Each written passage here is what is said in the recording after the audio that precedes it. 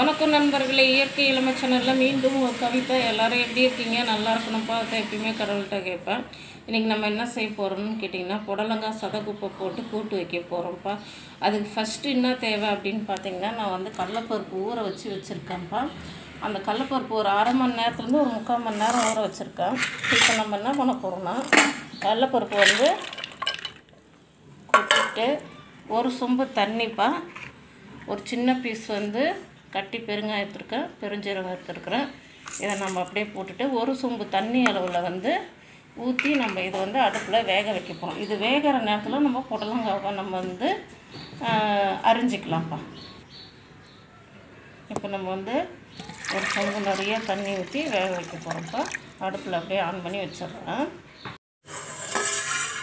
Friends நம்மளுடைய கடலப்பருப்பு பாருங்கள் நல்லா வெந்துடுச்சு இதை நம்ம வந்து அப்படியே வேறு ஏனத்தில் மாற்றிட்டு நம்ம இதுலேயே நம்ம வந்து கூட்டு தாளிச்சிக்கலாமா கூட்டு தாளிக்கு என்னென்ன பொருள் அப்படின்னு பார்த்தீங்கன்னா நான் பாருங்கள் புடலங்காவை வந்து மேல் தோலை சீவிட்டு அரிஞ்சு வச்சுருக்கேன். ஒரு வெங்காயம் ஒரு தக்காளி ஒரே ஒரு காஞ்ச மிளகாய் எடுத்துருக்கேன். கருவேப்பிலை கொத்தமல்லி எடுத்திருக்கேன்.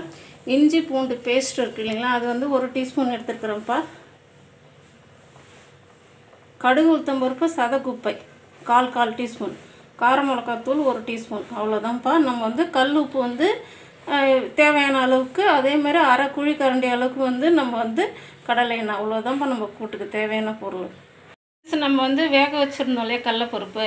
அந்த கடலப்பருப்பு வந்து தனியாக அதாவது தண்ணி தனியாக கடலப்பருப்பு தனியாக நான் எடுத்துட்டேன்ப்பா. அதில் நம்ம வந்து பெருஞ்சீரகமும் போட்டிருந்தோம் அதுக்கப்புறம் பெருங்காயமும் போட்டிருந்தோம். அதில் இருக்கிற தண்ணி ஃபுல்லாக வடிகட்டி எடுத்து வச்சுட்டு வெறும் கடலப்பருப்பு மட்டும் வச்சுக்கிறோம். இதை வந்து மிக்சியில் நம்ம ஃபஸ்ட்டு அரைச்சிக்கலாம். அதுக்கப்புறமா நம்ம வந்து தாளிக்கிற வேலையை பார்க்கலாம். சரிங்களா? ஃப்ரெண்ட்ஸ் பாருங்கள் நம்ம வந்து கடலைப்பருப்பு ஊற வச்சு வேக வச்சு வச்சுருந்தோம்ல அதை நான் அரைச்சிட்டேன். இதில் தண்ணியோடு நம்ம அரைச்சிருந்தா நமக்கு வந்து கொஞ்சம் கட்டியாக இல்லாமல் கிடச்சிருக்கோம்ல அப்படின்னு கேட்கலாம் நீங்கள் நான் எதுக்கு இப்படி கட்டியாக அரைச்சேன்னா நம்ம வந்து வேக வச்சுருக்கிற தண்ணி வந்து காய் வதங்கினோடனே நம்ம அதில் போட்டுட்டா தான் காய் நல்லா வேகும். இதில் கொஞ்சமாக ஒரு அரை கிளாஸ் தண்ணி ஊற்றி நம்ம கலந்து போட்டுக்கலாம்ப்பா. சரிங்களா? இப்போ வாங்க நம்ம கூட்டு தாளிக்கலாம்.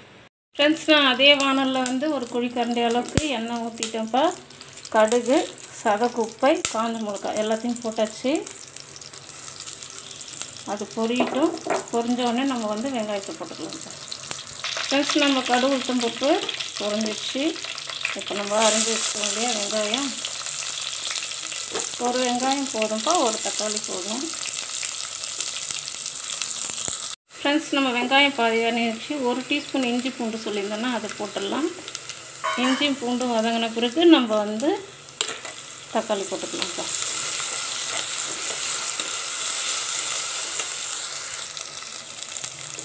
இப்போ நம்ம வந்து தக்காளி போட்டுக்கலாம்ப்பா தக்காளி போட்டு ஒரு கால் டீஸ்பூன் மஞ்சள்தூள் கல்லுப்பும் போட்டுக்கலாம்.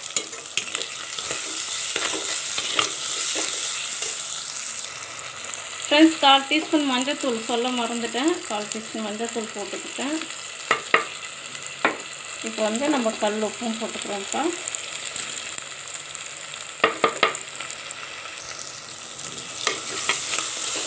இப்போ நம்ம வந்து அரிஞ்சு வச்சுக்கிற புடலங்காய் இருக்கு இல்லையா?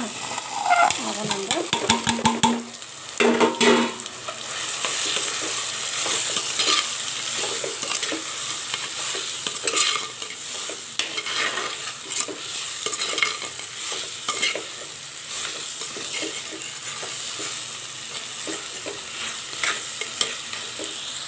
ஃப்ரெண்ட்ஸ் நம்ம புடலங்காய் நல்லா வதங்கிடுச்சுப்பா இப்போ நான் ஒரு டீஸ்பூன் கார மிளகாத்தூள் சொல்லியிருந்தோம்னா சொல்லியிருந்தேன்னா அதையும் போட்டாச்சு.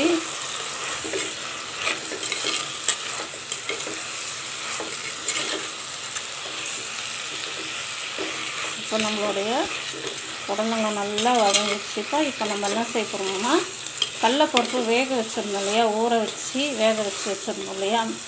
அதோட தண்ணி இருக்குது பாருங்களா அந்த தண்ணி நான் வந்து தனியாக வடிகட்டி வச்சுட்டேன்ப்பா. இப்போ அந்த தண்ணி நம்ம வந்து ஊற்றுறோம்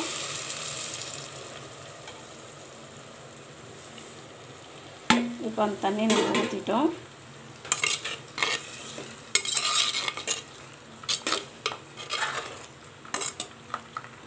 இப்போ நம்ம என்ன செய்ய பாருங்கள் இப்போ வந்து நம்ம அரைச்சி வச்சுருந்தோம் இல்லைங்களா? மிக்சியில் கட்டியாக இப்போ நம்ம வந்து அதை போட்டுடலாம்.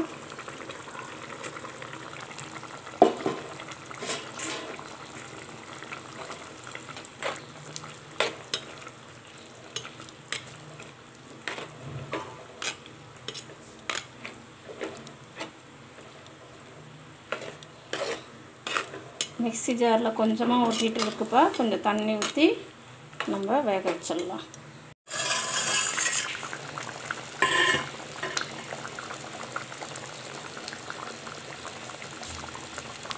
ஃப்ரெண்ட்ஸ் நம்மளுடைய புடலங்காய் கூட்டு ரெடி ஆயிடுச்சு.